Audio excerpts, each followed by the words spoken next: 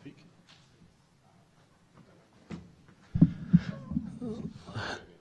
What?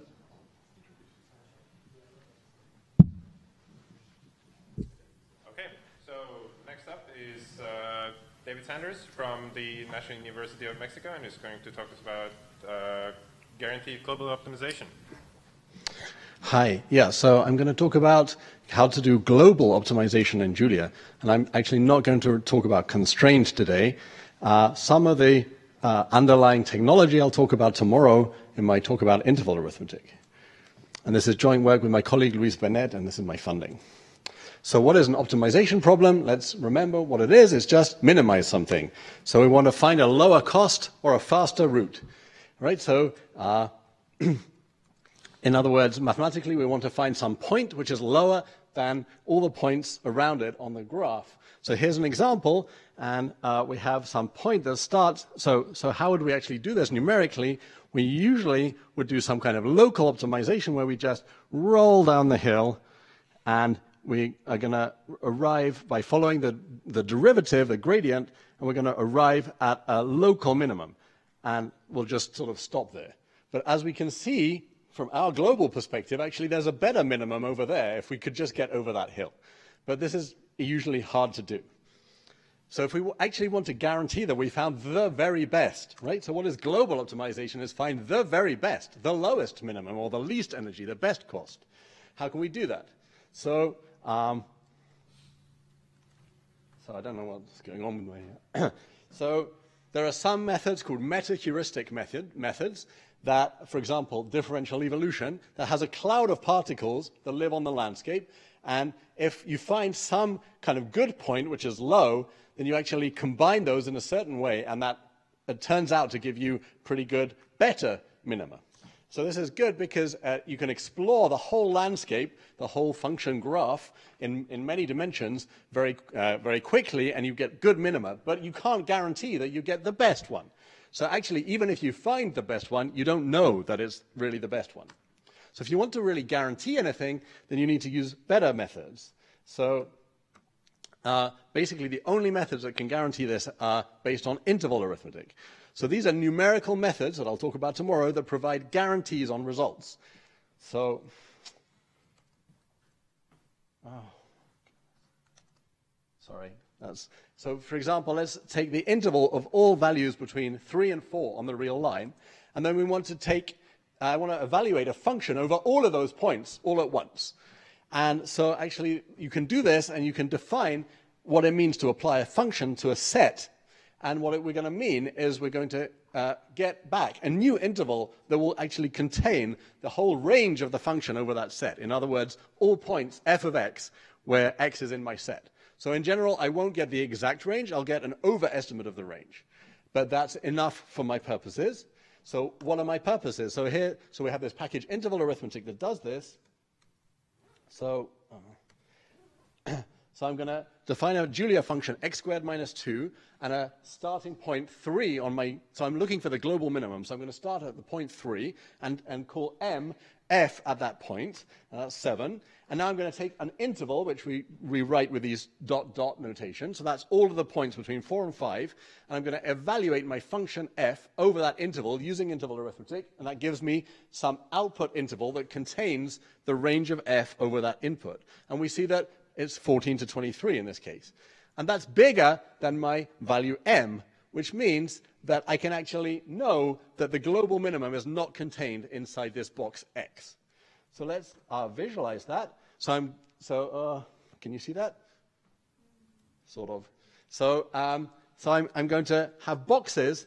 Uh, so I'm, the input is on the x-axis, the output is on the y-axis. So these boxes I'm evaluating and I'm drawing what their output is when I use interval arithmetic. And I'm going to go through, and the red box denotes which box I'm acting on, and I'm just going to bisect them, bisect, bisect, bisect, until I find a box which is above my current estimate of the, my current upper bound, actually, on the global minimum, which is this horizontal green line. And when I find a box like that, I'm just going to remove it. Like that because I, can, because I know that it cannot contain the global minimum.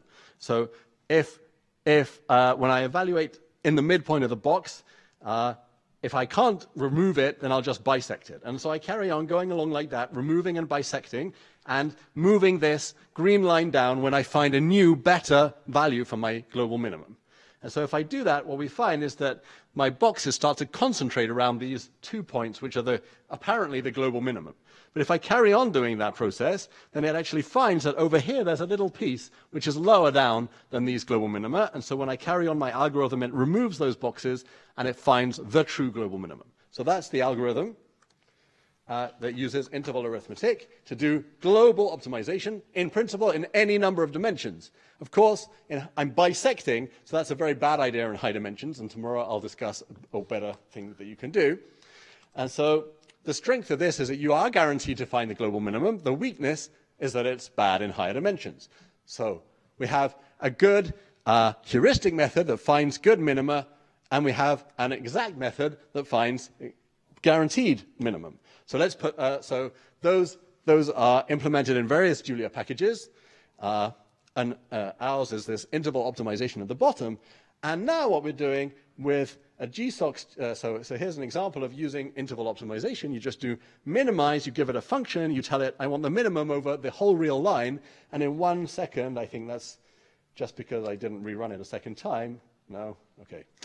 Anyway, it's faster than that. Uh, it will actually give you the global minimum of, sorry? No, it has an S in English. I'm, I'm from England, and it has an S. Um, so, uh, it's just that I didn't import the package. That's why it's not running. Uh, yeah, anyway, so you can also do it in, for example, 10 dimensions, and it's very quick to find the global minimum in 10 dimensions for certain functions. But other functions have a zillions of minima in 10 dimensions, and it's very difficult to find their minima, even with these methods. Come on. I always have trouble with the technology.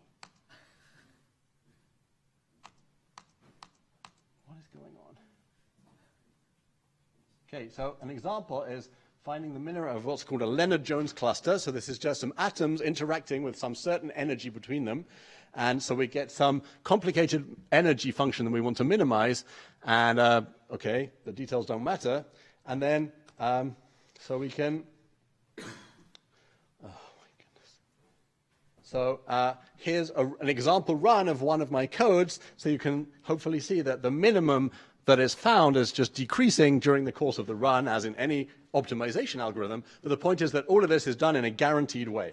And if you run it long enough, then what you get out is this structure for the uh, atomic cluster. This is visualized with Makie. Uh, and it's actually two tetrahedra, one on top of another. There's five atoms making up two tetrahedra, and that is the global minimum, guaranteed to be the global minimum structure of this cluster with five particles. So um, now, uh, finally, what we're working on, one of the things we're working on now is this new package called Charibde Optim. This is a re-implementation in Julia of a previous package called Charibde by Charlie Vanaret, which was written in OCaml a few years ago. That was his PhD thesis, uh, and MPI. So what it does is it takes this differential, differential evolution, this heuristic method, and the interval method, and puts them together. So it actually runs them at the same time in two different uh, processes, and they communicate with each other, and the communication is done with a channel or a remote channel in Julia, which is supposed to be on the next slide. And this is being implemented by Yashvardhan Sharma, who's a JSOC student this uh, summer. And uh, the point of this is that you combine the speed and the, the, the exactness. And so, uh, so this is how you run the, you load the software, you do it in a distributed way, and um, you can run it, and you get out a global minimum, an incumbent, and a list of boxes that are guaranteed to contain the global minimum. And it turns out to be much faster than just using the interval methods. Okay, so uh, that's the end. And then you can compare it with, for example, Ipopt. You can also run it from JuMP. Uh, that was here. Uh, and you can compare it with uh, a standard optimizer. And it turns out that the standard optimizer actually gives you a slightly wrong answer because of numerical error. So it actually gives you an infeasible point, the point that you can't actually reach, a value that you can't reach of the, of the function. Okay, so that's the end. So guaranteed global optimization is possible in low dimensions. What does low mean? It depends on the problem, actually. And uh, we have this new package that should be uh, a lot faster and competitive with uh, the best algorithms for nonlinear, non-convex optimization. Thanks a lot.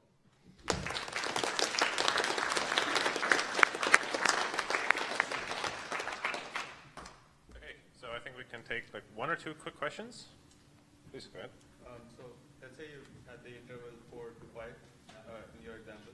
So are you calculating all the points or? Yeah, so the question is if I have the interval 4 to 5 and I want to evaluate the function over that box, over that interval, do I calculate all the points? And the answer is no, because there are an infinite number of points. So what I'm doing is, for example, if it's just squaring the box, then I square the, the, the lower endpoint and the upper endpoint, and that gives me the endpoints of the new interval.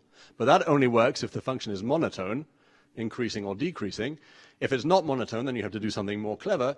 You, you basically just have to split it into pieces that are monotone, and then uh, you take each piece, you find the, the endpoints of those pieces, and you put them all together in the right way, and that's how you calculate the uh, range. Uh, under what smoothness conditions can you guarantee a global, optimiza- uh, global optimization to be correct? The question is, under what smoothness uh, conditions on the function that I'm optimizing can I guarantee the global optimum? And the answer is, uh, it can just be any function using these simple, this simple version of the method. So it can be discontinuous, can have discontinuous derivative, uh, any function, sorry, any function that I can evaluate using interval arithmetic. So that is a certain subclass of functions, but it does include, you can use the floor function, you can use abs, so you can have non-differentiable, non-continuous, piecewise, continuous, piecewise smooth, basically. Okay, piecewise smooth. Because if it has like a single point that's out, like if e- exactly equals one and that's the minimum, and you never evaluate on a specific. Uh, okay, yeah. So if I have an, oh, a single point which is one, yeah, okay, I, yeah, sure, yeah. You need you need a little, yeah. So intervals can only do things which work with intervals. So you have to have a whole interval, otherwise, yeah, you can't even see that point, probably. Oh, actually, I'm not even sure about that. okay. Uh, let's take one more question from there. The, the Charibde package Sorry again. the, the new package. Yeah, the new package is not published yet. Okay, but it's also actually guaranteed, The new package is guaranteed because it's using intervals in the correct way. but it's somehow cutting out on the time. I'm just wondering how it's still guaranteed if it's using the different. Yeah, so basically what's happening is the differential evolution gives you, uh, yeah, I, I didn't actually say that, yeah. Well, uh, differential evolution gives you a good place where you're checking uh, a value that you think is a minimum, and so you evaluate that using interval arithmetic to guarantee that that sort of value really exists. And if that value exists, then it allows you to already throw away a lot of boxes if they're above that, that place. So you found a low place, and now you can throw away anything that's elsewhere that's higher than, that, than it. And so it's just informing, each of them informs the other way, the other in a certain clever way. It's like better prioritization of the. Yeah, better prioritization, exactly, yeah.